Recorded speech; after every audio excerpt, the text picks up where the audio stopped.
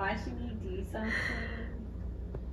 What's on your screen? I don't know. Who's this random YouTuber?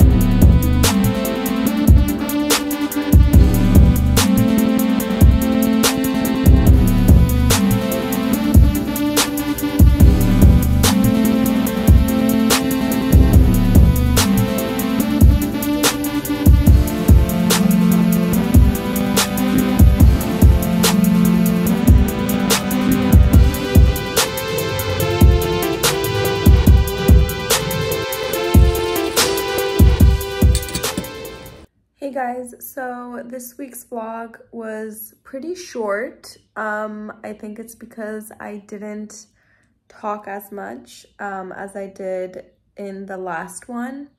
Um, but yeah, I kind of showed you guys my final um, prep for my crowns.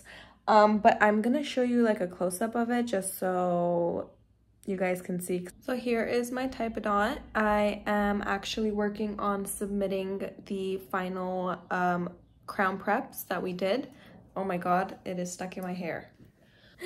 That is why you have to tie your hair back in lab. Oh, everything's falling apart. Okay, so I, so we did number three and number nine.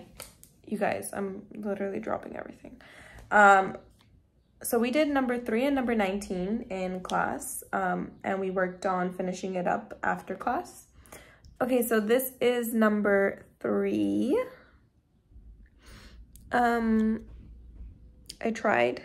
It's our first crown prep, so it's not gonna be beautiful. And then this is number 19.